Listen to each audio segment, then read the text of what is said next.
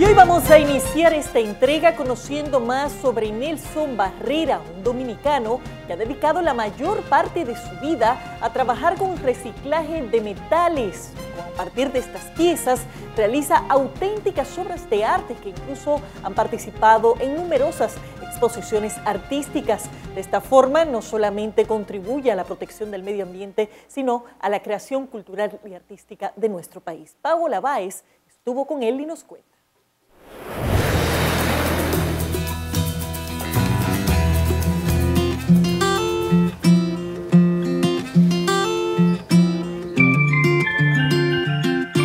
Se conoce como arte al medio por el cual las personas expresan sus emociones y su percepción del mundo a través de distintos recursos, entre ellas las artes plásticas, que son un conjunto de técnicas utilizadas para la elaboración de obras artísticas en las que el individuo pone su creatividad en acción. Es el caso de Nelson Barrera, un dominicano oriundo de la provincia Valverde Mao y quien desde muy joven contó con una extraordinaria habilidad para crear magníficos objetos artísticos. Desde que yo tenía 12 años, eh, en un viaje que yo di de vacaciones aquí, aquí a la capital, visitaba a mi tía, ella me llevó al Museo de Arte Moderno. Eh, ahí empezó el hechizo del arte, diría yo, en mi, en mi ser, en mi espíritu, que yo vi arte por primera vez. Nelson asegura que sin lugar a dudas, este fue un momento crucial en su vida, el punto que encendió la llama del arte en él y que se ha convertido en 35 años de trayectoria llevando magia a través de sus creaciones. Hasta que llegué en el tercer piso había una obra que, ha sido, diría yo, mi hechizo, que es una obra del maestro Iván Tobar. Y esa obra, verdad, que me conmovió mucho porque cuando la vi, empecé a llorar, me hinqué de rodillas y yo le dije, tía, ese soy yo, ese soy yo, ese señor me robó mi sueño. y qué sé yo, y de ahí quedé como impregnado de arte, ¿no? Hechizado, diría yo, que no me he podido zafar de ese hechizo, de la magia del arte. Y, y no sabía que lo tenía en las manos. Mientras iba creciendo, se sumergía aún más en un mundo que él sentía desconocido.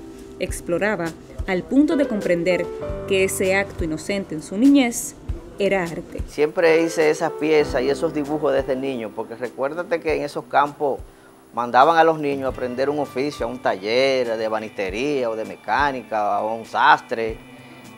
Eh, a mí me mandaron, me tocó a, un taller de mecánica. ¿Qué resulta? Éramos muchos muchachitos, muchos niños y, en vez de yo ponerme a trabajar y que desarmar un carro o un tractor, yo lo que veía eran piezas, con, veías animales con todas esas piezas. Luego de este primer encuentro con el arte, inició su carrera de artista ayudando en un negocio familiar de impresión. Mi primer pasito fue, en el arte fue el imprenta como diseñador gráfico. Ahí yo diseñaba logos, diagramaba la revista Leoncito de León Jiménez, trabajé con la publicitaria Jonas Rubi Candamari, y todos los diseños gráficos de la imprenta en ese entonces yo era que lo hacía. Barrera, buscando desarrollar sus técnicas con más profesionalismo y hacer de esto un trabajo más pulido, se formó en la Escuela Nacional de Bellas Artes y estudió publicidad en la Universidad APEC. Luego, se trasladó a Cuba para realizar distintos talleres, entre ellos la restauración de obras artísticas. Durante este proceso, Nelson Barrera dice contar con el apoyo de sus familiares y a pesar de que algunas personas no entendían su manera de expresarse, encontró personas en su camino que lo ayudaron a crecer aún más como artista.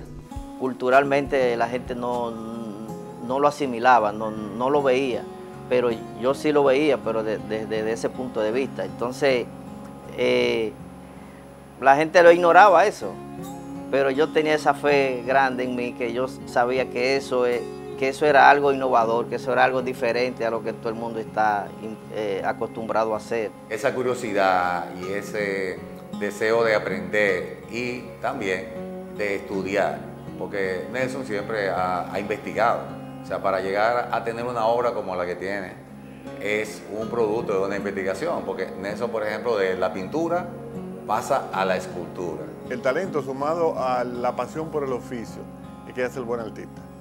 Entonces me di cuenta que con poco esfuerzo Barrera trabaja. A Barrera tú le das una idea, o él tiene su idea, pero tú lo empujas un poquito y él trabaja y logra hacer cosas maravillosas. Es aquí donde el artista Nelson Barrera pone su imaginación a volar, plasmando su amor y esfuerzo en cada obra de arte.